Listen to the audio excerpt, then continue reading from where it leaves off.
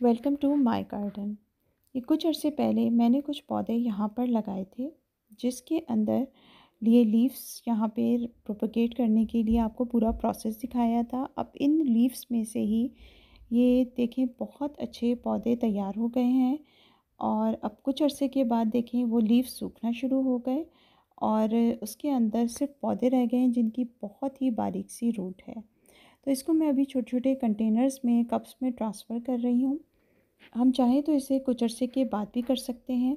जब ये प्रॉपर नए पौधों में ट्रांसफ़र हो जाएँ और थोड़े से जो बड़े पौधे हैं उनको हम अभी भी कर सकते हैं। ये देखें जो इसके लीव्स थे वो अब सूख गए हैं और ये पौधे प्रॉपर तरीके से एक नए पौधे में ट्रांसफ़र होने के लिए बिल्कुल तैयार हैं। तो अभी मैं आपको सिर्फ़ थोड़े से पौधे इसके ट्रांसफ़र करके दिखा देती हूँ। इसकी कोई ख़ास बड़ी रूट नहीं होती है।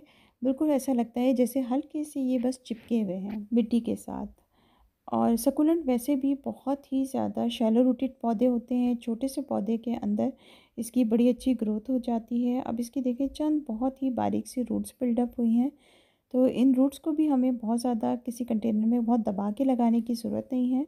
अगर हम इसको इसी तरीके से बस हल्का सा इस पर रख देंगे तो ही ये बहुत अच्छे हमारे कुछ अरसे के अंदर ग्रो हो जाएँगे। मिट्टी हमने नॉर्मल गार्डन सॉइल ली है और इसमें किसी भी किस्म का कोकोपीट या कोई चीज़ ऐड नहीं की है।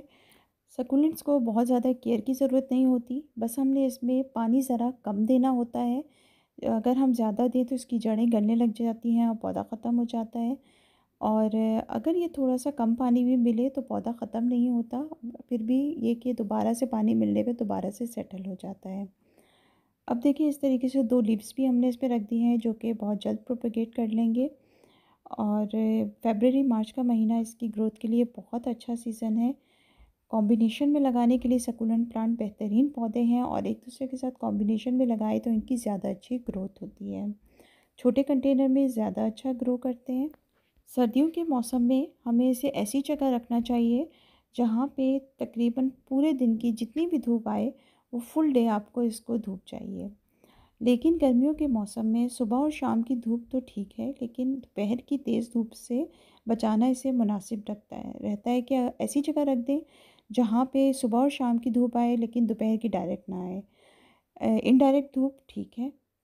तो फिर हमें थोड़ा सा अगर हम हल्का सा भी केयरफुल रहें तो ये पौधे बहुत ही अच्छा ग्रो करते हैं। जब temperature thirty two thirty five degree से ऊपर जाता है तो वो ज़रा थोड़ा सा इसका ख्याल रखने का मौसम होता है। इसको अगर हम उन दिनों थोड़ा सा शेड में ट्रांसफ़र कर दें तो ये बड़े अच्छे ग्रोथ करते हैं और थोड़ा सा पौधे को पानी जो है, ये नहीं करना हमने कि गर्मी ज़्यादा है तो पानी ज़्यादा दे दें क्योंकि फिर इसकी जड़ें गलने लगती हैं। बस धूप का थोड़ा सा ख्याल रखना इसके लिए बहुत ज़्यादा ज़रूरी है। तो ये होता है फिर हमारे पौधे अगले सीज़न में भी बड़ा अच्छा ग्रो करते हैं। वरना अक्सर लोगों को प्रॉब्लम ये होता है कि जब गर्मी का मौसम आता है, तेज़ गर्मी में तो हमारे पौधे ख़राब हो जाते हैं।